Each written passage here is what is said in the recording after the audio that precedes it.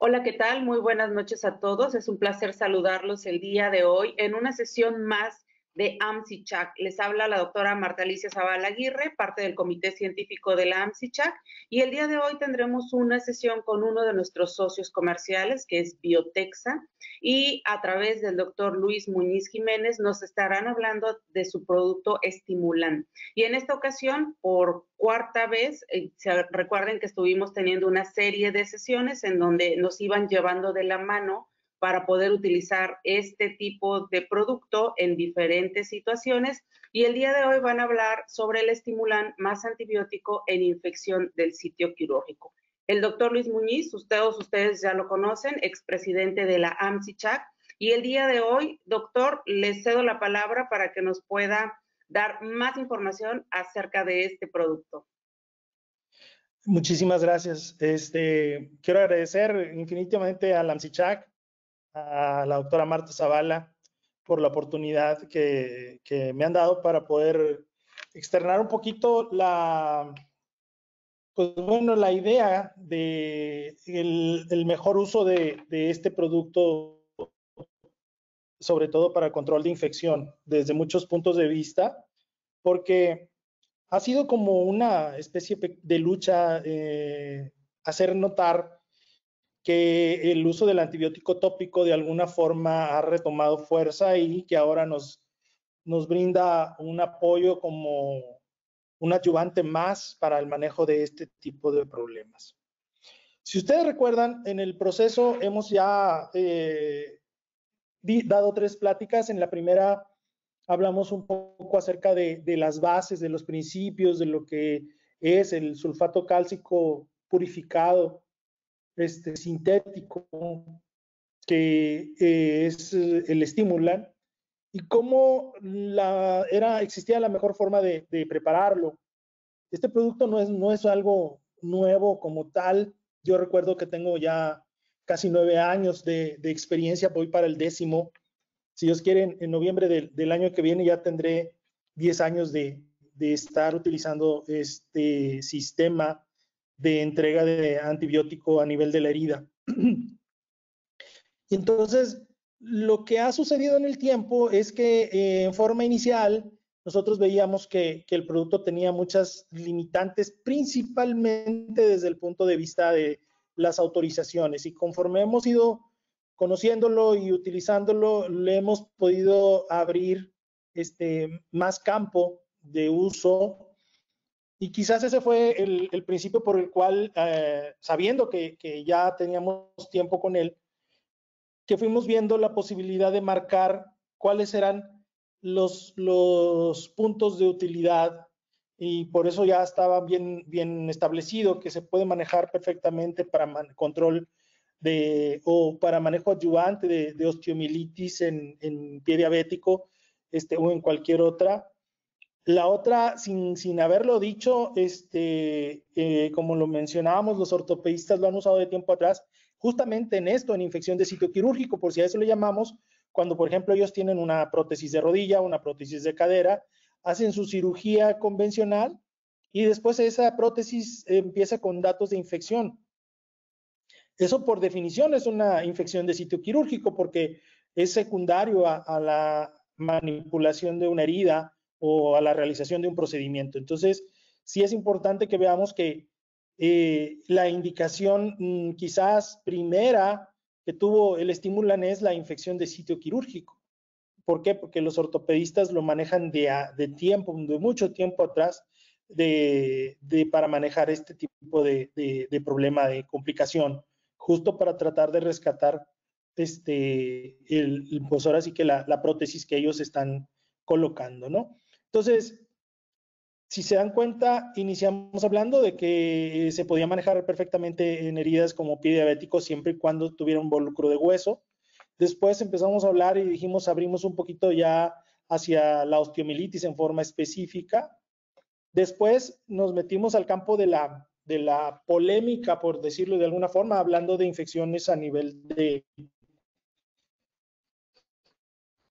tejidos blandos, que ya quedó bastante claro que está plenamente autorizado por COFEPRIS utilizarlo en tejido blando. Y finalmente, ahora estamos terminando con esta plática, donde vamos a cerrar con, como les digo, quizás la primera indicación que tuvo el uso del estímulo más antibiótico, que es en la infección de sitio quirúrgico. Entonces, vamos a dar un breve eh, recuento eh, de, de, eso ya saben ustedes, hablamos un poquito, una breve introducción, damos un poquito de epidemiología relacionado a lo que vamos a hablar, terminamos hablando de, de la justificación, por llamarlo de alguna forma, de, del, del, uso del producto y vamos a finalizar con algunos casos clínicos, nada más para poner, eh, remarcar eh, en forma de ejemplo cómo lo estamos utilizando, ¿no? La verdad es que eh, las infecciones de sitio quirúrgico eh, son uno de los grandes retos de, los sistemas de salud a nivel mundial, porque a pesar de que se hablan generalmente de, de cifras bajas, es como que uno, dentro de su personalidad, ya sea quirúrgica de cualquier tipo, pues no reconoce que en forma inicial que puede ser este, afectado y entonces tenemos muchos cirujanos que no, a mí eso no me pasa, no, a mí no se me infectan las heridas. Pero la realidad es que eh, es muy grande el, y muy frecuente eh, el efecto de este tipo de problema y la OMS lo tiene registrado con hasta un, un tercio de los pacientes. Principalmente se asocia a problemas de salud en países de, de ingresos bajos o medios aunque también a nivel de, de hospitales en, de alto nivel, evidentemente se manifiestan y, y, hay algunos factores que vamos a mencionar que, se relacionan con esa situación de afectación por infecciones eh, posteriores a una cirugía electiva, vamos a llamarle, que debería de ser sin complicaciones. Entonces, diríamos como como definición que la infección de sitio quirúrgico es aquella infección que se ve a nivel de una incisión, un órgano o un espacio anatómico que ocurre siempre relacionado a la realización de una cirugía. Esta es cada vez más importante porque nosotros sabemos que en Estados Unidos, como en otras partes del mundo, el, número de procedimientos quirúrgicos ha ido en, en incremento. ¿Por qué? Pues por el aumento de la población, por el aumento de la, de, de la, del promedio de edad de cada uno de nosotros. Ustedes saben que eh, eh, ha, hemos ido aumentando de tener un promedio de vida de, por decir algo, aproximadamente 50 años por ahí del principio del siglo XX, hasta ahorita que ya tenemos un promedio de vida casi de 80. Entonces, eso hace que a mayor edad haya mayor riesgo de padecer algún problema que vaya a requerir algún procedimiento quirúrgico. Entonces, a más cirugías, pues hay mayor riesgo de infección eh, de sitio quirúrgico. Y eso nos está remarcando la frecuencia de esto. Hay grandes estudios que, están realizándose para poder definir cuáles son las infecciones que son más importantes.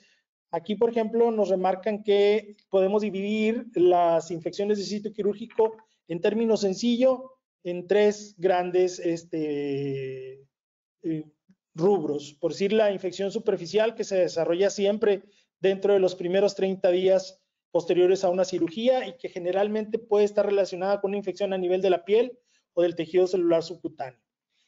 Las que son infecciones a nivel profundo que se desarrollan o se pueden desarrollar antes o después de los 30 días, pero siempre tienen como límite para poderle decir que es secundario a la, a la cirugía después de un año cuando se haya implantado algún cuerpo extraño. Llamamos cuerpo extraño a un tejido que no pertenece a la persona, por decir una prótesis, una malla o algún otro este, eh, aparato que nosotros hayamos colocado, vamos a decir, por ejemplo, un marcapaso.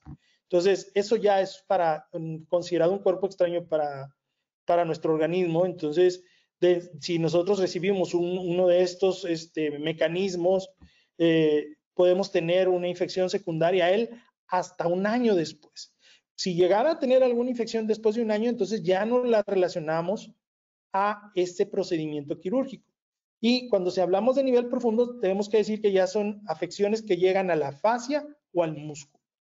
Y también, por ejemplo, cuando colocamos una malla, una malla abdominal por una hernia inguinal o una hernia umbilical o una hernia ventral, este, cualquier malla generalmente está relacionada a la fascia. Entonces, pudiéramos decir que todas las eh, infecciones de sitio quirúrgico relacionadas a una malla o la colocación de una malla se pueden considerar de tipo profundo, nada más por la zona donde están fijas, ¿no? Se fijan a la fascia, entonces ya estamos por definición a ese nivel cuando nosotros tenemos una infección de una malla. Y bueno, también podemos tener infección de órganos a cavidades corporales que son próximas al sitio quirúrgico. Por ahí esto eh, generalmente también se puede desarrollar desde los 30 días o hasta un año si se ha implantado algún cuerpo extraño, como ya lo mencionábamos.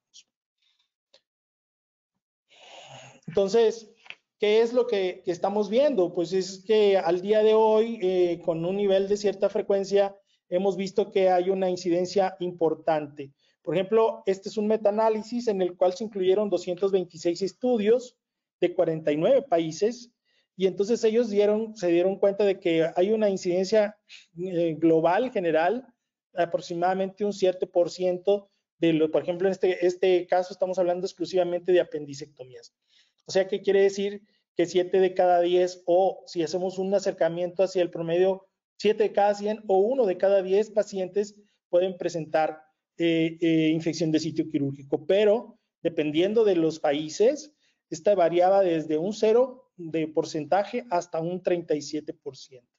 Entonces, como pueden ver ustedes, en los países de altos ingresos, la incidencia era aproximadamente del 6% hasta y se incrementaba hasta un 11% en países de bajos ingresos. Y esto pues habla de que el estudio es heterogéneo, que no, no lo hicieron en un solo lugar y por eso también es válido hablar de que si hacemos un promedio general, podemos decir que a nivel mundial la incidencia de, infección de sitio quirúrgico en apendicectomías se acerca al 7%. Entonces, también ellos nos dan un dato importante. Habla de que la, de la la apendicectomía de tipo laparoscópico eh, tiene una menor incidencia de infección de sitio quirúrgico contra el 11%. Esto tiene que ver también, obviamente, con la cuestión de los, de los países de bajos ingresos. En un país de, ingreso alto, hoy por hoy la mayoría de, las cirugías ya son de tipo laparoscópico porque tienen los equipos adecuados. Y en, y en lugares donde tenemos este, un nivel socioeconómico bajo, donde todavía existen hospitales que no cuentan con equipos adecuados, el procedimiento se está manejando de tipo abierto. Y al no tener con un equipo uh, adecuado, también estamos hablando de que a lo mejor el equipo que manejen, llámese instrumental, este equipo de quirófano, muy probablemente tenga también unas condiciones que no son las adecuadas y eso también puede ser un factor que incremente el riesgo de una infección de sitio quirúrgico a ese nivel. Este, hablando, por ejemplo, de la infección de sitio quirúrgico, también en, apendicectomías, podemos ver cómo en este estudio retrospectivo que realizaron durante tres años, de enero del 2013 a diciembre del 2015, se notificaron 103 pacientes, de los cuales 22, o sea, un 3.6% aproximadamente, padecieron infección de sitio quirúrgico. Por año, ellos lo tomaron y se dieron cuenta cómo fue disminuyendo la tasa de infección desde un 13 hasta un 1% del 2013 al 2015. ¿verdad? Ellos eh, se dieron cuenta de que cuando la herida estaba contaminada o sucia era el mayor riesgo de presentar infección de sitio quirúrgico. Y una cosa que es importante para que nosotros también consideremos que nos apoya, ya lo habíamos platicado, que uno de los eh, puntos importantes del uso del estimulan es que tiene un, apoyo para nosotros en cuanto la, eh, la tratamiento de bacterias multiresistentes, ¿no? Entonces, ellos detectaron en este estudio que 65% de los cultivos bacterianos aislados les dieron como consecuencia un organismo multiresistente. Los que ellos mencionan con mayor frecuencia es la E. coli y la Klebsiella. Entonces, si nosotros ya sabemos que tenemos un riesgo porque el porcentaje de organismos multiresistentes es un porcentaje alto en su presentación, debemos de considerar la posibilidad de generar un manejo adyuvante que nos ayude a evitar que ese riesgo se perpetúe por más tiempo, ¿no? En otro estudio, también hablando de la, de la epidemiología de los datos que, que, estamos viendo en relación a, a, la infección de sitio quirúrgico, estamos, nos damos cuenta de que este estudio prospectivo se realizó en pacientes sometidos a la reparación de una hernia incisional de cualquier tipo, ¿verdad? Es, generalmente ellos lo que hicieron fue eh, excluyeron aquellas que tuvieran contaminación intestinal y evaluaron el periodo de enero a diciembre del 2015. Ellos vieron que 16 de 101 pacientes tuvieron infección de sitio quirúrgico, o sea, un 16% de los pacientes. Estamos hablando de más o menos el porcentaje de pacientes que veíamos que la OMS menciona que hasta un tercio, bueno, aquí hemos estado hablando de porcentajes del 7, del 11 y ahora estamos viendo el 16%, donde encontraron como el factor de riesgo más importante la presencia de ya sea un seroma o hematoma. Le llaman ellos cero hematomas posoperatorios. ¿Por qué? Porque de estos casos el 38% lo tuvieron contra el 8% que no lo tuvieron. Eh, hablando específicamente de ya los casos que ellos consideraron con infección de sitio quirúrgico. Entonces, se dense cuenta de que eh, existen factores, como en este caso de ellos ya identificaron que si había pues, un mal control del proceso de sangrado posoperatorio, pues tenías riesgo de presentar una complicación. Hay que considerar que, por ejemplo, ahora en las hernias, la mayoría de los casos se están utilizando mallas, por decir en las hernias laparoscópicas, el deber ser es que se está haciendo con malla. Entonces, si tenemos una infección de sitio quirúrgico, pone en riesgo todo el procedimiento porque entonces si la malla se contamina, lo que hacíamos en forma convencional hace algunos años era retirar la malla porque ya considerábamos que la malla contaminada o infectada no íbamos a poder controlar porque el cuerpo extraño íbamos a tener problemas para uh, lograr erradicar la infección hasta que no retiráramos ese cuerpo extraño, el cual ya se encontraba infectado o contaminado. Otra cosa que es importante decir es que en este estudio lo que encontraron ellos que que los pacientes requirieron, estos pacientes que tuvieron infección de sitio quirúrgico, llegaron a requerir el tratamiento hasta por cinco meses. Entonces, si se acuerdan ustedes, cuando hablamos en uno de los temas anteriores, mencionábamos que era muy importante acortar el tiempo de uso de antibiótico debido a que el tiempo prolongado predispone a mayor resistencias bacterianas o a generación de biofilms que entonces se vuelvan un problema. Por eso es importante coadyuvar para que usemos eh, antibióticos por el menor tiempo posible y para eso estamos proponiendo el uso del estimulan más antibiótico.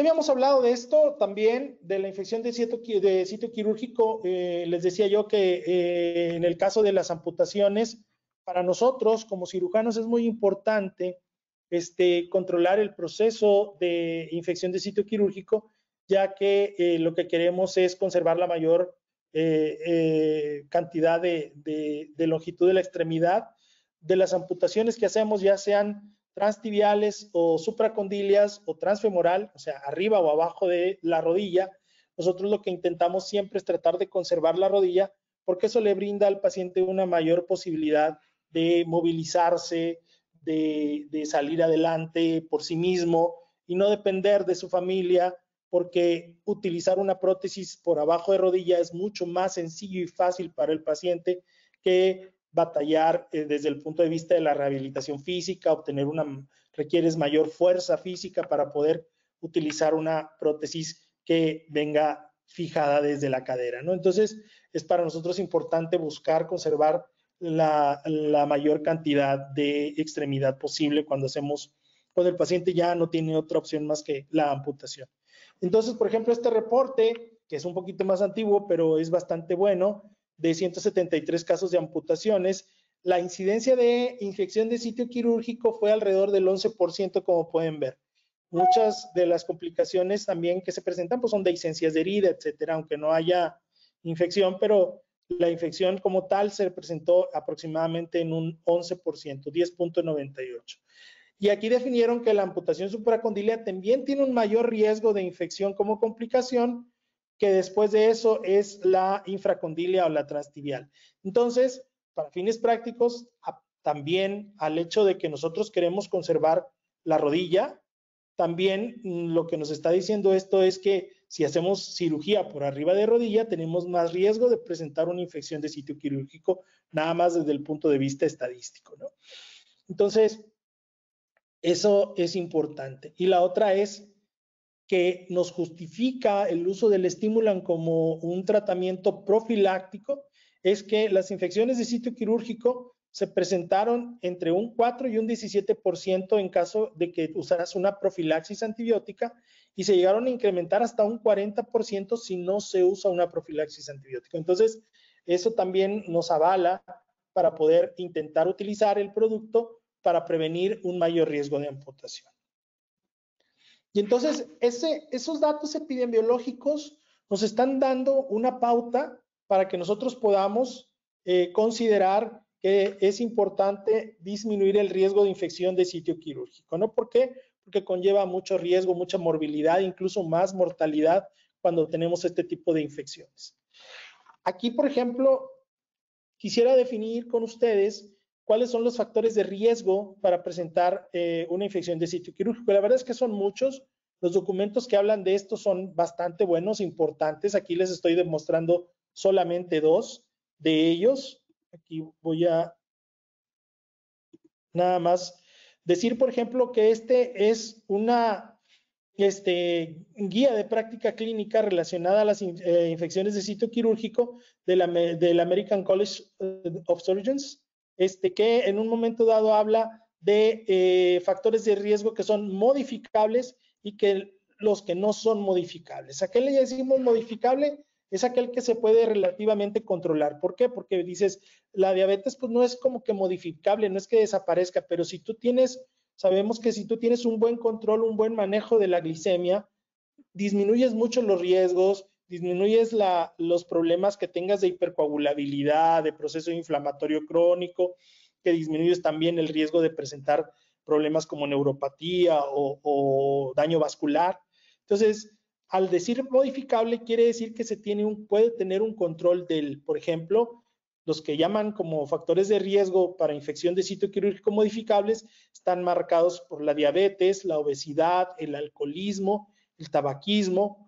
Una, se ha demostrado que una albúmina preoperatoria abajo de 3.5 eh, miligramos es eh, también un factor de riesgo de infección de sitio quirúrgico. Cuando el paciente presenta hiperbilirrubinemia por arriba de 1, también ya se, identificó como un factor de riesgo que puede ser modificable y la inmunosupresión también. Son los factores que mencionan como modificables. De los que no son modificables para ellos, que también son factores de riesgo, pues es una edad avanzada, el antecedente de haber recibido radioterapia en forma reciente y una historia previa de infección de la piel o de tejido blando, pues obviamente favorece a una reinfección. Aquellos pacientes que tienen, por ejemplo, este, una este, infección ahí de, una vena, una flebitis que se haya presentado previo y que se le haga un procedimiento, las, las bacterias sabemos que se pueden conservar por tiempo prolongado ahí en forma latente y reactivarse posterior a, una manipulación por una herida quirúrgica, ¿no? Entonces, son factores que tenemos que considerar cuando nosotros vayamos a hacer algún procedimiento. También tenemos, por ejemplo, en este caso, una revisión sistemática que habla del sitio quirúrgico de infección, que es una guía de práctica clínica también, y hablan de factores asociados a mayor riesgo de infección. En ellos hablan de la anemia, de una duración de estancia hospitalaria prolongada, te puede dar también un, incremento del riesgo de infección, los medicamentos inmunosupresores, que coincide con lo que vimos con el otro documento, la historia de abuso de alcohol, que también coincide, la obesidad y la depresión también las mencionan. La historia de suficiencia cardíaca congestiva también es un riesgo que genera este, probabilidad de infección de la herida quirúrgica. La demencia, porque pues, evidentemente el paciente no se cuida en forma adecuada. Y la inmunosupresión por el virus de inmunodeficiencia adquirida. Este, entonces, todos estos pueden ser factores. A mí me llamó mucho la atención en este documento que no mencionaran a la diabetes como tal, pero ellos, ellos reportan que si la diabetes es manejada en forma adecuada, prácticamente desaparece de los riesgos, de, de, los factores de riesgo asociados a infección de sitio quirúrgico. Entonces, sí es importante considerar eso porque sería bueno saber que tenemos que ser un poquito más este, exigentes en los controles que tengamos con nuestros pacientes cuando les vayamos una, a realizar una cirugía electiva y que sepamos que, que es diabético, debemos de considerar llevar un mejor control para poder mm, evitar o disminuir el riesgo de infección de sitio quirúrgico. Este consenso eh, nos menciona, ya hablando del tratamiento de la infección, ¿verdad? Desde el punto de vista general, desde el punto de vista global de una infección de sitio quirúrgico. Cuando hacemos una cirugía, nos, nos inicia con un enrojecimiento de la herida o con fiebre que no hemos detectado dónde está, qué es, cuál es la recomendación que nos hacen de qué es lo que debemos hacer para controlar este proceso. Entonces, cuando queremos hacer un manejo adecuado, lo que tenemos que hacer es ir a la incisión, a la herida, y si vemos que está enrojecida, abrirla y drenar la probabilidad de que exista un absceso. Entonces, tenemos que desbridar todo el tejido necrótico en caso de que se encuentre presente. Hay que tener un cuidado adecuado de la herida, o sea, un manejo global de, preparación del lecho de la herida, por llamarlo de alguna forma, para que nosotros podamos ya tener un, control. Hay que realizar una reanimación en caso de que tengan sepsis, mejorando la perfusión sanguínea para que pueda llegar mejor oxigenación a los tejidos hay que generar el desarrollo de una terapia antibiótica empírica adecuada cuando esté indicado. En este caso, nosotros estamos haciendo la propuesta de la realización de la terapia antibiótica, además de la utilización del estimulan con antibiótico. Hay que, ya cuando tengamos un antibiograma, lo que ellos llaman una desescalada es básicamente cambiar el esquema de antibiótico empírico por ya un, un antibiótico enfocado correctamente al resultado del antibiograma, ¿no? Que ya se realizó un cultivo, tiene el antibiograma y entonces podemos eh, cambiar de antibiótico ya siendo más específicos en el manejo del mismo. Entonces, dentro de ese tratamiento, ¿verdad? Cuando tenemos un signo que trae fiebre o trae ya dolor de la herida o que llamamos signos sistémicos de infección, lo que tenemos que hacer es abrir la incisión, retirar los puntos y colocar drenaje en caso de que sea necesario para que eh, el líquido que esté contaminando lo podamos er, este, evacuar de la herida y que podamos tener un mejor control de la infección. Hablando de antibióticos, este documento que estamos revisando nos dice que, eh, por ejemplo, la, la, resultó ser más eficiente que la vancomicina en el tratamiento de infección de sitio quirúrgico. Hay que recordar que estamos hablando de manejo sistémico. Son, mm, por ejemplo, la vancomicina y el inesolid son medicamentos que se tienen que administrar intravenosos. Entonces, sabemos que la vancomicina en forma intravenosa tiene riesgo de ototoxicidad. Entonces, son medicamentos que de entrada son indicados para manejar la infección por estafilococo remeticilin resistente. Pero ¿qué pasa si en vez de manejar la vancomicina en forma intravenosa, la manejamos en forma tópica con la colocación de las perlas de sulfato cálcico impregnadas con vancomicina. Lo que estamos haciendo es potenciando el efecto de control de infección a nivel local. Y eso es lo que nosotros estamos viendo contra el uso de estos antibióticos, primero que son costosos, que en un momento dado vamos a manejar, y segundo que tendríamos que tener al paciente de entrada hospitalizado con manejo de eh, este tipo de antibióticos ya, pues de ahora sí, de alta especialidad.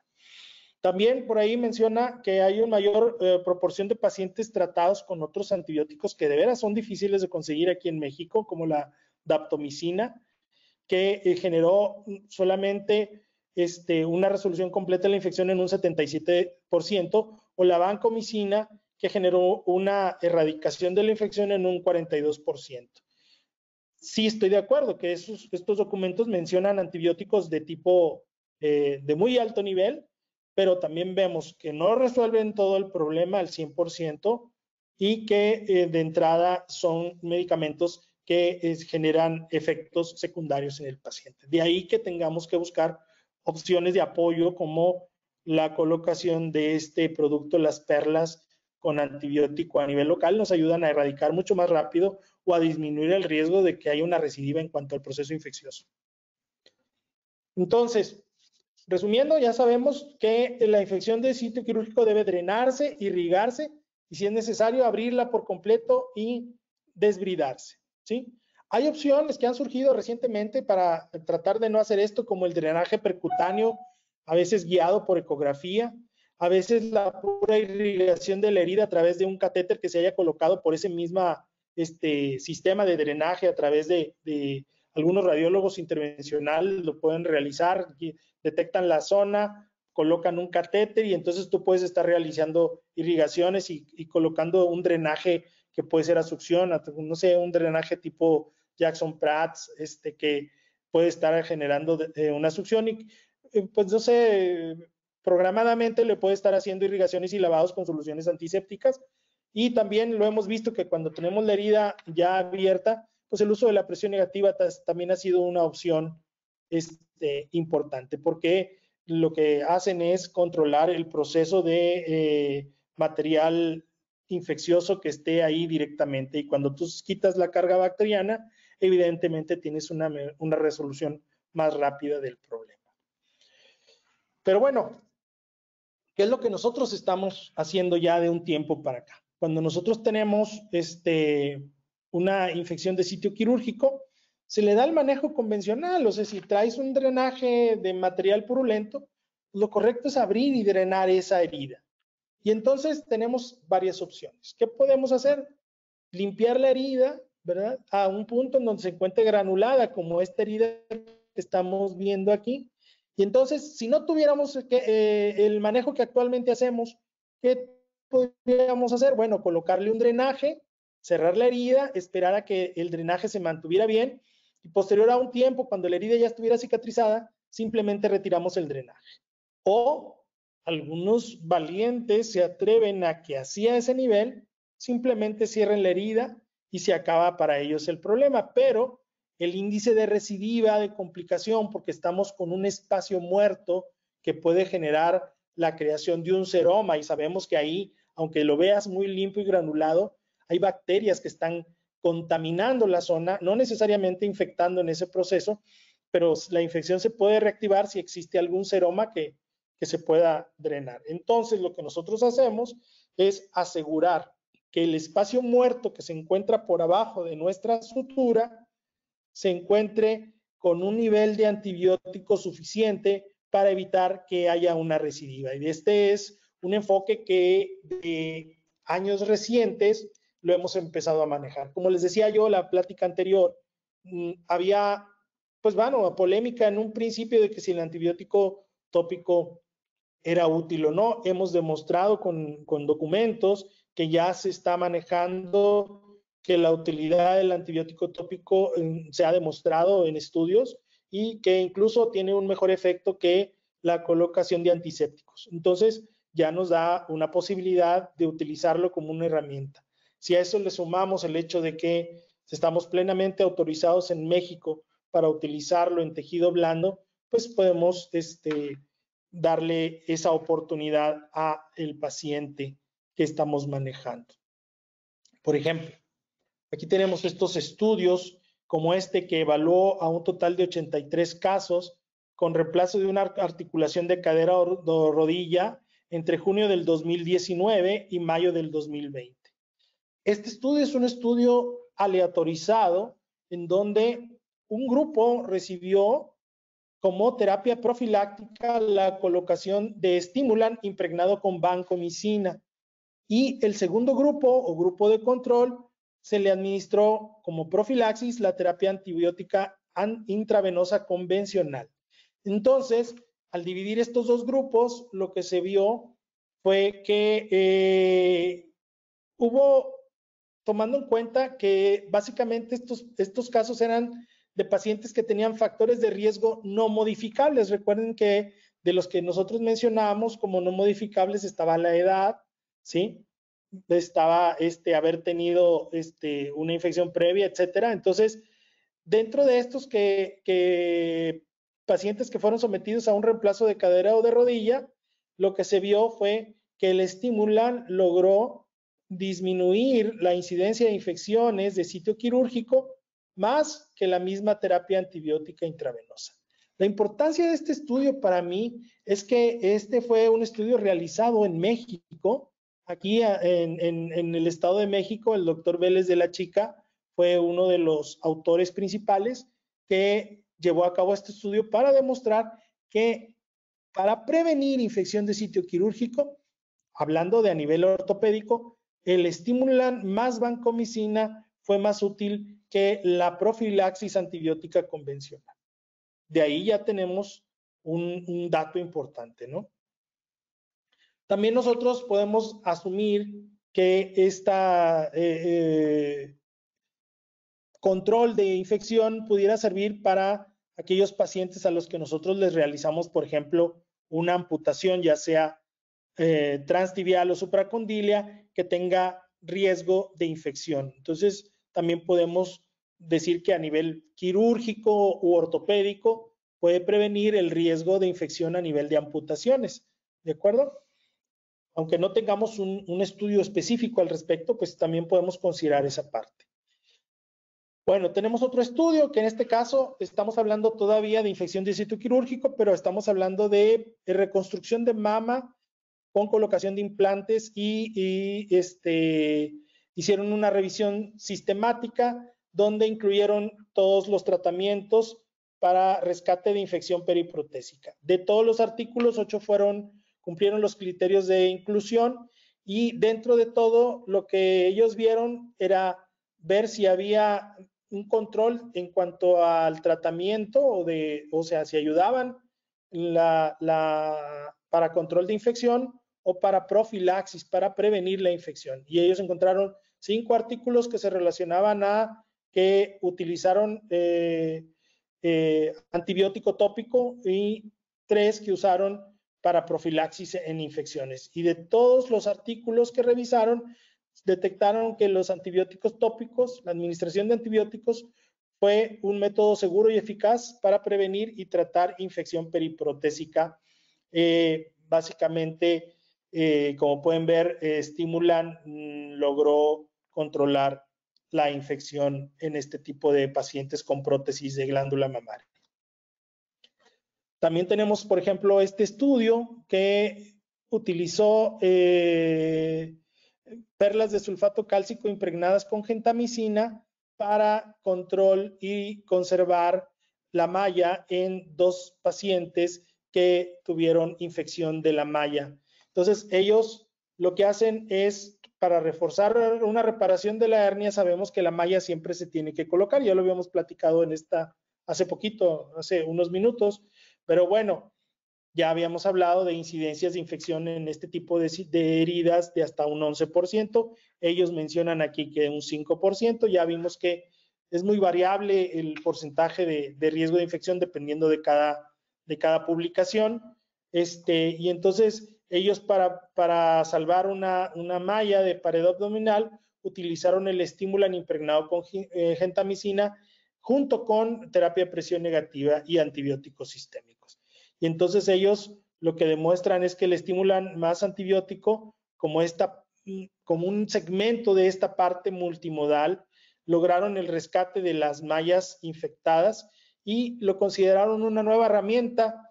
hay que considerar que estos documentos son documentos que están este, surgiendo y que nos están brindando ya eh, información al respecto de la utilidad del uso de este producto pero que todavía falta encontrar más información, más demostraciones que nos remarquen la importancia del producto para manejo de rescate de mallas a nivel este, de manejo de hernias que se hayan presentado con infección de sitio quirúrgico. Este estudio ya se los he presentado, pero para mí sigue siendo importante porque es el que más me, me marca considerando que es un estudio primero retrospectivo, que es un estudio que se realizó en Italia. Ellos ya tenían bastante tiempo con el uso de, este eh, producto de las perlas de sulfato cálcico impregnadas, estimulan con antibiótico. Y ellos, fíjense bien, hicieron un estudio retrospectivo de seis pacientes que presentaron infección del injerto protésico vascular, ¿sí? Y los trataron con estímula. ¿Qué es lo que hicieron ellos en los casos que tuvieron esta infección? Realizaron la exploración quirúrgica, desbridaron todo el tejido necrótico infectado, repararon o recuperaron o reconstruyeron el, puente para que no se perdiera el flujo, ¿sí? Y colocaron alrededor del injerto y dentro de la herida las perlas de sulfato cálcico purificado impregnadas con un gramo de vancomicina y variablemente de 80 hasta 400 miligramos de gentamicina. Las colocaron y le dieron seguimiento a los casos. Entonces, de seis casos que, como les decía, si nos eh, consideramos el manejo convencional, cuando teníamos un injerto vascular protésico infectado, lo que hacíamos era retirarlo y prácticamente condenábamos al paciente a la pérdida de la extremidad.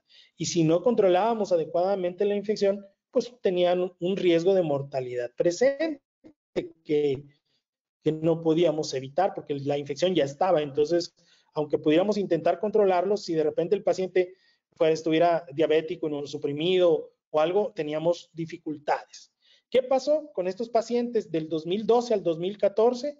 Los seis pacientes fueron, les dieron seguimiento hasta por ocho meses y todos los pacientes tuvieron una resolución favorable de la infección, todas las heridas cicatrizaron adecuadamente y se conservaron el 100% de permeabilidad del injerto, lo cual llevó como consecuencia que el paciente rescatara su extremidad y, por ende que sobreviviera.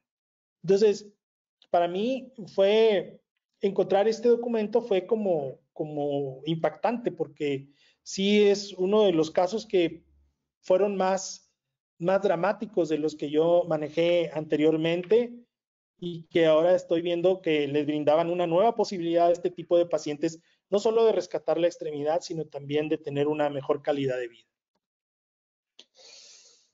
Bueno, la verdad es que esta, esta presentación es más, este, más corta en el sentido de que los documentos que están surgiendo si se dan cuenta, tienen prácticamente poco tiempo y todavía estoy seguro de que vamos a encontrar más información al respecto en muy corto tiempo porque nos estamos dando cuenta de que ahora eh, puede ser plenamente utilizado sin tanto riesgo a nivel de tejido blando.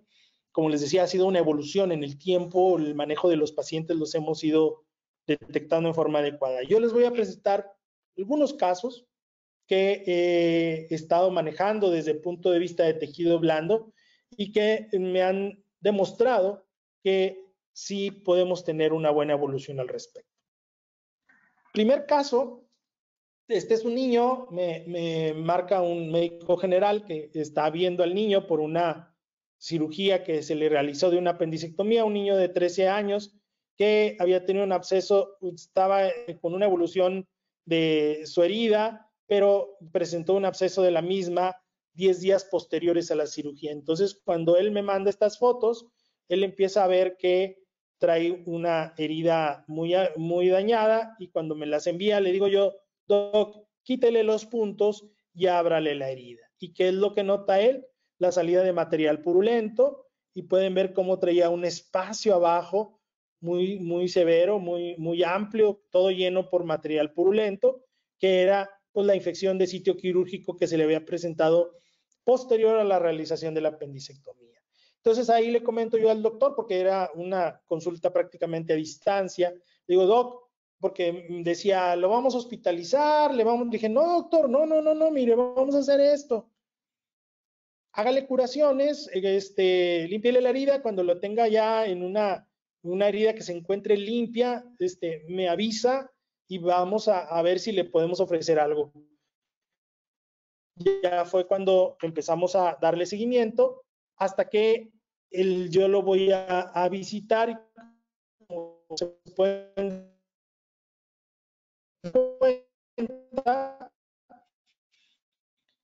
ya tenía la herida, estaba profunda, por supuesto, pero solamente estaba a nivel de piel y tejido blando. Piel y, tejido fue lo que hicimos. Buscamos el, el, estimulan para, como lo mencionan los documentos que mencionamos, que hemos leído en el tiempo, este, para rellenar el espacio muerto, pero mezclado con el Ya por ahí yo les había comentado que al día de hoy, este es un caso reciente, realmente tendrá menos de un mes. De hecho, todavía no termino las fotografías, pero ya lo quise presentar. Este, eh, Ustedes pueden ver cómo eh, eh, le hemos colocado las perlas, pero las perlitas tienen, como ya les he mencionado en otras ocasiones, tres antibióticos. Lo que yo estoy manejando ahorita es colocación de piperacilina tazobactam, eh, vancomicina y gentamicina. Y aquí pueden ver la evolución en el tiempo. Aquí lo que notaron fue que estaba drenando un poquito una fuga de, que ya les había comentado también que es la quizá la complicación más común, eh, que es la fuga de líquido que le llamamos efluente, que es la mezcla del líquido extracelular. Hay que recordar que hay un espacio hueco, un espacio muerto, ahí entre eh, las perlas, por supuesto que lo que surge en primera instancia es líquido de edema, el cual se mezcla con el antibiótico y con la degradación de las perlitas se forma un líquido de color blanco lechoso que al fugar por la, por la presión, imagínense que el joven camina, se mueve, doble el abdomen y eso presiona las perlas o el espacio y si encuentra un, un punto de salida, pues va a fugar. Y es lo que está sucediendo aquí, una pequeña fuga del efluente hacia, hacia afuera. Ahí lo que se hizo con el médico que lo estaba ah, manejando, le dije yo, póngale una vendoleta, sellele bien, póngale un vendaje, una, una cinta con algo de presión para intentar controlar la salida de ese líquido. Y así lo estuvimos manejando para que pudiera evolucionar favorablemente. Aquí pueden ver la evolución de la herida, desde cómo llegó con la salida del material purulento, vean cómo la colocación del producto, y esto ya fue con el retiro de los puntos, pueden ver cómo sí tiene un poquito de, de abierto en la parte central, lo cual se siguió haciendo curaciones convencionales, pero ya hubo necesidad de retirar los puntos porque después de una semana y media ya empezó a generar reacción y los puntos ya le estaban generando eh, irritación, por eso se retiraron, pero vean cómo la herida se conserva bien, ya no tiene enrojecimiento propio de una infección, este, y muy probablemente mm, esta foto es del día de ayer. Entonces, ya en, en un futuro muy cercano tendremos una foto que ya termine con la evolución. Pero si ustedes ven cuánto tiempo creen que hubiera tardado en cerrar esta herida, la otra es la cicatriz que hubiera quedado, este, hubiera sido muy amplia porque estábamos viendo que no se cerrara y aquí ya tuvimos un control completo del proceso infeccioso de la herida, ¿no? Y ahí va el paciente con una mejoría, todavía les digo que quisiera tomar una última fotografía para poder tener una evolución completa del caso. Pero al día de hoy, después de 15 días de haberle colocado el producto, las perlas con antibiótico, ya se encuentra resuelto el problema que tenía de la herida abierta con un drenaje amplio y con curaciones persistentes. Este es otro caso, una femenina de 26 años, estaba cursando el posoperatorio de su segunda cesárea. Ella este, me la refiere un, compañero de ginecología y obstetricia porque notó que empezó a presentar fistulización de la herida. Por ahí se alcanzan a notar algunos puntos que le habían colocado para el cierre de la misma. El caso de ella, pues es una paciente obesa que tuvo esa complicación de herida quirúrgica. Lo que hicimos fue abrir todo el espacio que se encontraba con problema, hacerle algunas curaciones para posteriormente colocarle el estimulan, cerrar la herida y aquí antes del retiro de puntos pueden ver cómo ya se encuentra completamente cicatrizado, ¿verdad? Pero este, ya sin problema. Desgraciadamente ya el retiro de puntos ya fue con su ginecólogo y ya esa fue la última fotografía que nosotros obtuvimos del caso, pero pueden ver la evolución favorable de la, de la herida, cómo se le fue dando seguimiento. Digo, nosotros o personalmente yo les diría, no hago un, como, no, no siempre, solamente que esté muy favorable la situación, pero lo que hacemos es abrimos, hacemos curaciones hasta que vemos que esté el, el tejido de granulación sano, que nos podemos tardar tres, cuatro días y posterior a ello, si la herida todavía tiene posibilidad de cerrarse sin tensión, nos vamos al cierre de la herida. Es algo que ya lo hemos comentado en otras pláticas. Este es otro caso también que por ahí en algún momento ya hemos presentado. Es una paciente femenina que tuvo el problema, eh, que fue atropellada. Ella presentó una fractura de cadera severa, estuvo hasta casi cuatro meses hospitalizada por un absceso, por un hematoma, perdón, pélvico severo y que por alguna razón le drenó por, esa herida de la, de, la, de la ingle. Obviamente venía desde una parte muy, muy superior, muy profunda, y estuvieron realizándole curaciones y realizándole tratamiento con terapia de presión negativa. La verdad es que pues la evolución para ella fue buena, pero cuando ellos decidieron cerrar por, por tercera intención, le puse segundo por tercera intención, ya después de haber logrado control, ella empezó a presentar un y, y empezó también con, obviamente, complicaciones secundarias a, a, eso, con fiebre, malestar general. Ustedes pueden ver cómo por aquí se estaba fistulizando, le habían cerrado la herida, pero al momento de revisar, pues sí tenía el, problema. Lo que tuvimos que hacer fue drenar la herida, lo mismo, la estuvimos revisando, haciéndole curaciones, y después de un tiempo lo que pudimos hacer fue colocarle perlas, volverme a hacer un cierre y aquí pueden ver la herida ya completamente cicatrizada, que en un momento dado logramos eh, controlar la fístula que tenía el temor que se presentaba en ese momento fuera que el drenaje viniera de mucho más arriba y que no pudiéramos realizar un control del proceso infeccioso porque el hematoma estuviera muy profundo y que eh, el antibiótico que estaba liberando el estimulan no llegara hacia arriba. Pero la realidad de las cosas es que fue bastante noble la, evolución y la cicatrización fue muy favorable, ¿no? Entonces, aquí podemos demostrar que sí logramos controlar un proceso de infección de sitio quirúrgico secundario a un hematoma pélvico por un traumatismo severo. Entonces, también fue un caso que pudimos eh, evidenciar que estamos controlando la infección de sitio quirúrgico. Cabe mencionar, porque sí es importante que, se los diga que el manejo es como un adyuvante más. No lo estamos manejando en forma individual. Si el paciente lo tenemos con antibiótico, este, ya sea oral, intravenoso o intramuscular, lo manejamos y a eso le agregamos el producto. No, no suspendemos un, manejo, nada del manejo convencional por la utilización del producto, lo estamos usando como un adyuvante. Ya les comentaba yo que en las amputaciones eh, eh, el porcentaje de riesgo de infección de sitio quirúrgico es alto, que puede llegar hasta un 40% en caso de que no le podamos, no le manejemos profilaxis antibiótica. Ahora imagínense este tipo de pacientes en los cuales estamos encontrando una infección muy severa. Son pacientes que por alguna razón que, desconozco, este, se les maneja y no nos damos cuenta de que estamos rebasando el límite del daño que le estamos ocasionando al paciente. Por tratar de rescatar un pie podemos perder al paciente completo. Entonces, cuando nosotros tenemos así un paciente joven que trae un daño así, tenemos siempre a pensar, tendemos siempre a pensar en tratar de rescatar la rodilla. Pero a veces, como pueden ver ustedes que en esta amputación en el posoperatorio, o no es el posoperatorio, pero después de la cirugía, el paciente está con un problema de, por la gran infección que tenía, una pierna edematosa, con riesgo de presentar la infección de sitio quirúrgico.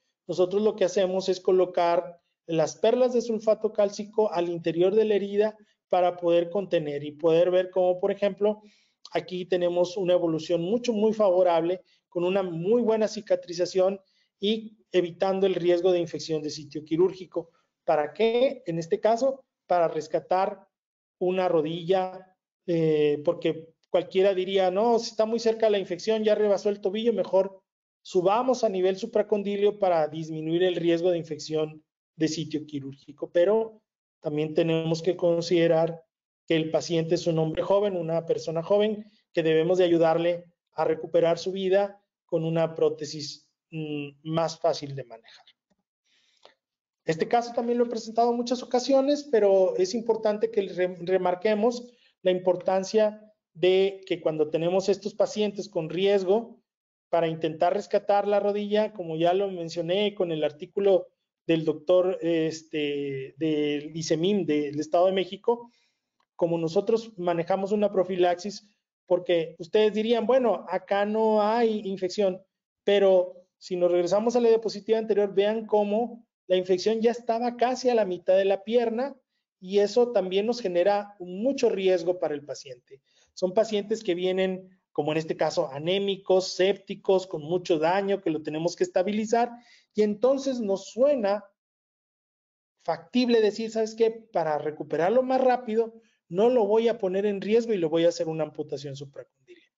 Entonces, cuando vemos eso, si nosotros colocamos el producto, aquí tenemos la colocación de estimulan, podemos lograr una evolución en el tiempo, como lo pueden ver, cómo va disminuyendo, vean cómo nunca se pone rojo, no se pone caliente, no hay datos de clínicos físicos de infección y podemos llegar a la cicatrización que nos permite que el paciente pueda utilizar una prótesis y que tenga una mejor calidad de vida. Para eso es el intento de rescate de esta rodilla de paciente. Otro caso igual, ya lo, ya lo hemos visto, vean cómo aquí en esta, aquí está la rodilla, vean a qué altura se encuentra todavía con algo de edema, con un problema de riesgo de infección. Esto nos haría pensar en que es mejor hacer una amputación por arriba de rodilla. Son pacientes que desgraciadamente traen muchos riesgos, como esta paciente que había estado hospitalizada por una cirugía de, corazón donde le habían realizado tres puentes, ¿sí?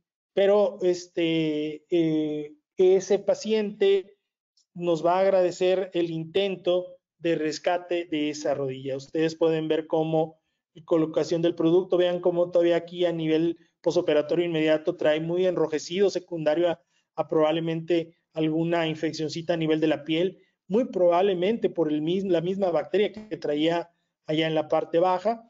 Y vean cómo la evolución de la herida es muy favorable hasta la cicatrización de la misma. Este fue los primeros pacientes que lo, que lo hicimos y pueden ver aquí cómo al principio tomaba una foto de cómo estaba el producto al interior de la herida y luego un mes después cómo ya desapareció, se desvaneció el, sulfato cálcico sin ninguna consecuencia para el paciente. Y aquí pueden ver cómo tuvimos la posibilidad de ayudarle a rescatar su extremidad.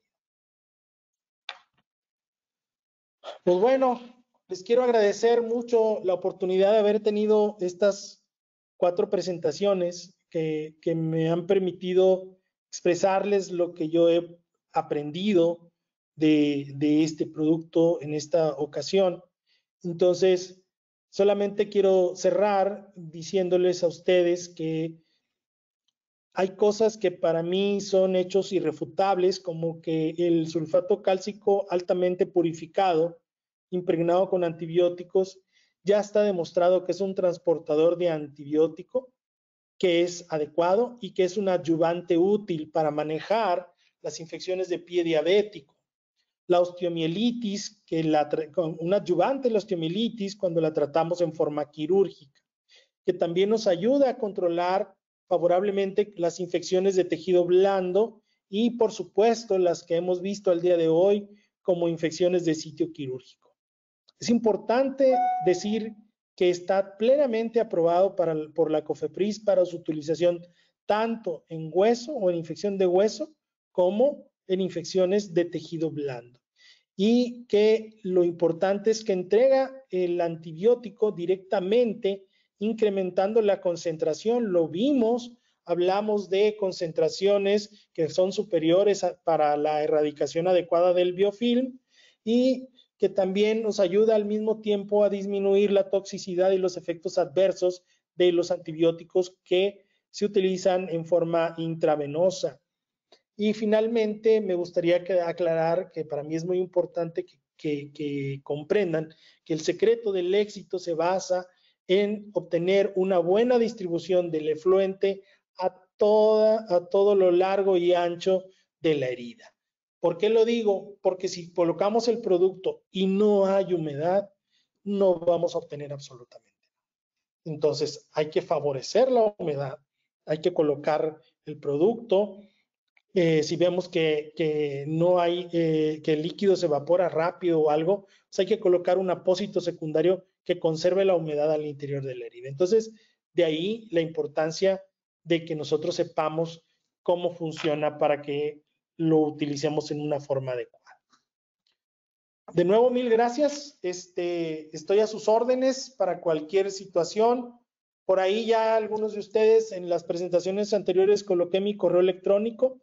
Este, no sé si hay alguna pregunta, podamos eh, resolverlas. Y quiero agradecer tanto a LAMSICHAC como este, a Biotexa la oportunidad de poder platicar con todos ustedes al respecto de estas experiencias que tenemos ya a lo largo de estos nueve años de eh, utilizar el producto en nuestra práctica este, y con nuestros pacientes. Muchísimas gracias a todos. Excelente, doctor. Muchísimas gracias por su presentación. La verdad es que ha sido súper interesante y eh, nos comienzan a llegar muchas felicitaciones por la presentación que nos acaba de, de dar y algunas dudas que vamos a comenzar a sacar algunas en este momento. Una de ellas de Manuel Fernando es si se puede utilizar o agregar vitamina C para potencializar la acción del antibiótico. No tengo experiencia con vitaminas, me da mucha pena. Este, no sabría decirte. Yo creo que eso sí lo deberíamos de preguntar con a la gente de, que maneja el producto directamente de lo que yo he revisado, he leído, de los artículos que tengo a la mano, no existe ningún comentario al respecto. No te pudiera decir si tiene esa capacidad que probablemente pudieras de, eh, contemplar que es la misma posibilidad en un manejo de antibiótico por vía intravenosa. si potencia o no potencia, te mentiría. No, no, no tengo experiencia al respecto. Ok, muy bien, lo investigaremos entonces. También eh, nos preguntan si recomienda óxido de zinc para evitar humedad en piel perilesional. Este, hay varios protectores para la piel. Este, yo personalmente no soy muy, muy afecto a, manejar muchos productos directamente sobre la piel. Yo creo y soy un convencido que si tienes un problema de maceración de la piel, generalmente es porque no está completamente limpia la herida. ¿Sí? Yo, si ustedes se dan cuenta, las, todas las, imágenes que les presento, prácticamente no existe ningún tipo de material necrótico ni bordes de herida este, eh, de tejido muerto. Hay pacientes que, les dejan una capita, un tejidito, un borde pequeñito que se ve necrosado, verdosito, amarillo. A mí no me gusta, yo me voy más atrás, quito más tejido sano, quito, llego hasta donde hay puro tejido sano y la realidad de las cosas es que eh, pocas veces se llega a macerar la herida porque si fijas bien el, sello, que es el apósito secundario, este, no, no, no se presenta una maceración como tal. Y la otra cosa que les mencionaba era que yo genero, a veces coloco dos o hasta tres capas de, del sello que, pongo para que no se evapore o no fugue el, el líquido que estamos hablando como es el efluente, ¿no? Y sí, por ejemplo, me fuga más todavía cuando eh, pongo puntos porque por ahí la presión es mayor, porque estás generando tensión al, aproximar los bordes de la herida, pero este, si veo que está fugando, lo que hago es dar otro punto y, ya. Muy bien, muchas gracias. Y eh, por aquí Sonia Esperanza dice que no escuchó bien la combinación que dijo de los antibióticos, que recomendaba vancomicina con otro antibiótico. Sí, mira, eh, históricamente siempre se ha usado y los documentos hablan de vancomicina sola, de este, tobramicina, que desgraciadamente en México no la tenemos así como para poderla utilizar, y muchos artículos hablan de combinación de vancomicina más gentamicina, ¿sí? Esa es básicamente la más usada, la más aprobada. Algunos artículos hablan de moxifloxacino, etcétera. Pero yo en general lo que uso ahora de unos meses para acá son tres antibióticos, la vancomicina, la gentamicina y le agregué recientemente la piperacilina tazobactam para tratamiento empírico. Obviamente, si tú ya tienes un cultivo y el cultivo te dice cuál es el antibiótico que mejor funciona, yo diría usa ese, ¿sí? Eh, la, parte importante es que, cuando empezamos a hablar de esto, decíamos, todos los antibióticos se pueden utilizar. Hoy por cuestiones de, me imagino yo que del producto, de autorizaciones, ya este, hemos discutido que solamente mencionan, primero, que no se mezclen y segundo, que, solamente sea o gentamicina o vancomicina o tobramicina, pero la tobramicina, como les digo, no existe aquí en México, al menos no la he visto yo. Entonces, yo no concuerdo con eso, yo desde hace mucho tiempo lo mezclo y, y les digo, recientemente uso este tercer antibiótico y no tengo ningún problema. Muy bien. Eh, tenemos varias preguntas, siguen llegando los saludos y felicitaciones desde Baja California, desde La Paz, de Uruguay. Muchas gracias a todos los que están conectados. Y bueno, la siguiente pregunta es, ¿cuántas aplicaciones recomienda? Es variable. Si tú cierras la herida, una aplicación es suficiente. ¿Por qué? Porque ya cerraste y la herida ya acabaste, ya no hay nada más que hacerle, nada más esperar en el tiempo a que le quite los puntos. Ojo, yo no me, yo me, espero todavía un poco más para retirar los puntos porque como tienes nada más la piel cerrada y abajo tienes un hueco grande, yo espero que granule y cierre para que genere que la tensión de la herida no sea tanta. Y si se dan cuenta, la mayoría de los puntos que doy son puntos para eliminar la tensión en el centro de la herida. Entonces, si me tarda un poquito más, a veces dices, no, que en siete días es suficiente, yo me espero todavía una semana más. Y si a la semana más me queda una duda, le digo, véngase mañana, pasado mañana. O sea, todavía me espero a estar bien seguro que la piel ya pegó y que no se va a abrir. Luego, cuando tú realizas un apósito, cuando tú colocas un apósito eh, secundario, lo que yo les diría, no sé si en el tiempo, pero yo me espero hasta que se rellene el espacio muerto, ¿sí? Para colocar nunca he puesto más de tres veces, este, eh, por sí, porque la revisión que les digo, no sé si se han dado cuenta, les comentaba que yo lo, pongo el producto y lo reviso a las 48 horas. ¿Por qué? Porque soy miedoso, ¿sí? pero normalmente cuando yo coloco el producto, ya que veo que está todo bien, ya lo cito cada cinco días o hasta cada siete días, dependiendo de cómo vaya, y no le toco la herida ni le digo al paciente que se toque la herida. Entonces, el paciente se mantiene bien y generalmente en dos o tres semanas se rellena el espacio muerto, ya no hay espacio para colocar perlas, ya no se le pone, se sigue con una, con una terapia convencional, ¿no? Un hidrocoloide, si requiere algo más, no sé, que quieras acelerar, pues ya le puedes poner colágeno, lo, que hay en el mercado, pero realmente lo que hacemos es rellenar el espacio muerto y hasta ahí. Muy bien, de acuerdo, muchísimas gracias. Tenemos aquí una, a ver, una recomendación para una persona que nos está mandando sobre pie diabético. Dice que tiene un paciente con una amputación del primer dedo de tres años de evolución, la herida no le cierra, tiene diversos manejos, pregunta si puede ser candidato a utilizar este material. Si está infectado, si no está infectado, no, no, no, no, no sirve para, para cerrar heridas, sirve para control de infección. Yo lo que le recomendaría es que le tome un cultivo. Hay que ver que el cultivo debe ser un cultivo de tejido, no le haga un, un hisopado porque no le va a servir para nada. Y si él, si, si considera que la causa del, del que no cierre es por infección, puede ser una opción. La otra es que tenga un espacio, un hueco, un espacio que no haya avanzado, porque si no hay un espacio realmente el producto no le va a funcionar tampoco, porque mm, le vas a tener que hacer una casita de campaña para poder conservar ahí el producto, pues no, no, no, no es por ahí.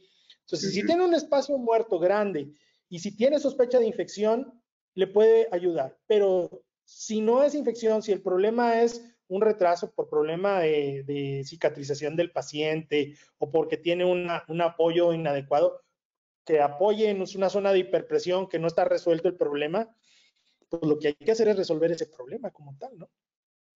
Por supuesto. Y bueno, nos preguntan también, ¿con qué recomienda cubrir si deja uno la herida abierta?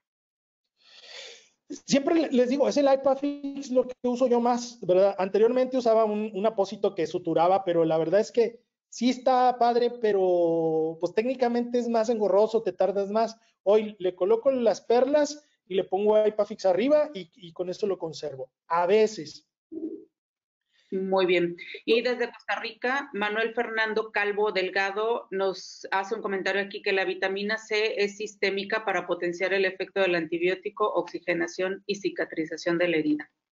Sí, lo, lo, conozco. Lo que yo le decía es que no tengo experiencia de si le va a ayudar colocarlo con, con, con adentro de, de las perlas. Sí, porque de entrada no sé, si una mueles una pastilla o qué haces este, para colocar la vitamina C en, la perla. No hay nada escrito al respecto, al menos yo no lo he leído. Claro, por supuesto. Muy bien, doctor, pues ha sido un placer eh, estar con usted esta noche. Antes de cerrar, vamos a eh, cederle la palabra a la licenciada Noemí Alba Márquez de Biotexa, que nos va a dar unas palabras. Noemí, ahí está, ya te vemos. Hola, ¿qué tal? Muchas gracias. Buenas noches. Eh, pues primero que nada, agradecerle a usted, doctora, y al equipo de AMSICHAC la oportunidad que nos da de la presentación de nuestro dispositivo. Eh, doctor Luis, muchas gracias por retroalimentarnos o alimentarnos de sus casos en el uso de nuestros dispositivos.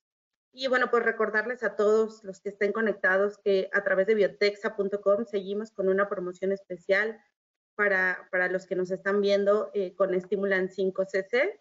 Eh, en un momento más les vamos a dejar los datos también por si tienen alguna duda para que personal especializado de, del producto se pueda poner en contacto con ustedes. Muchísimas gracias. Al contrario, gracias a ti, gracias a Biotexa por hacer posible estas sesiones académicas y mm, por mi parte no me queda antes de, cerrar esta sesión, doctor, ¿algún comentario final que nos quiera dejar para esta sesión? Siempre les digo, no me, no me crean, lean, busquen información, documentense.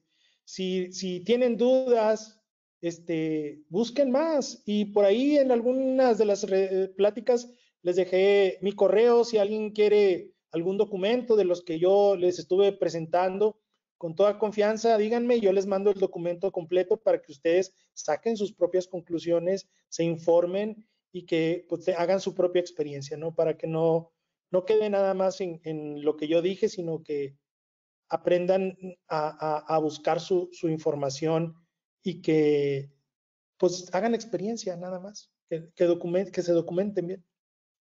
Claro que sí, muchas gracias. Eh, gracias a Biotexa, gracias a todos los que se conectaron el día de hoy para esta sesión. Por mi parte, invitarlos a nuestro siguiente congreso de la AMSI Chat que se va a llevar a cabo en septiembre del próximo año, no lo olviden, agenden, en Mérida, Yucatán. Pueden consultar mayor información en nuestra página web www amsichac.org. Y para cerrar esta sesión vamos a pasarles una, un video con información de contactos, teléfonos, correos para que puedan tener acceso a toda la información que comentó hace un momento la licenciada Noemí Alba. Muchas gracias a todos y nos vemos en la próxima. Gracias.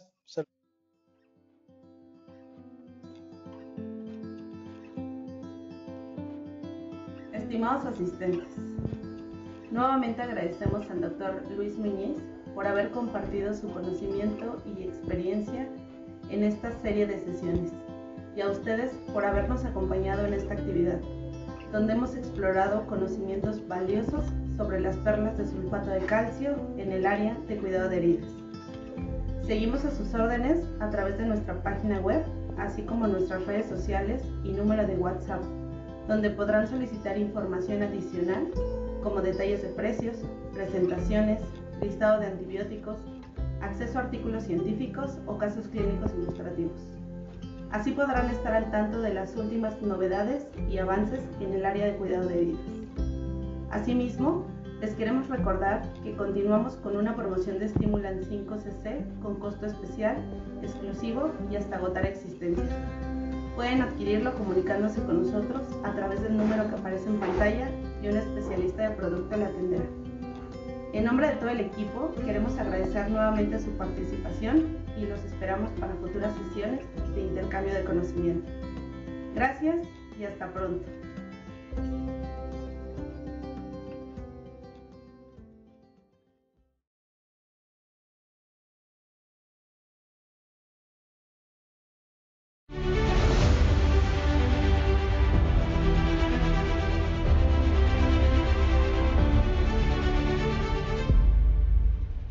Ya estamos a menos de un año para nuestro décimo octavo Congreso Internacional AMSICHAC en Mérida, Yucatán, del 4 al 7 de septiembre de 2024. Y este mes de noviembre, aparta tu lugar a un superprecio preferencial. Solo 3.300 pesos o 180 dólares.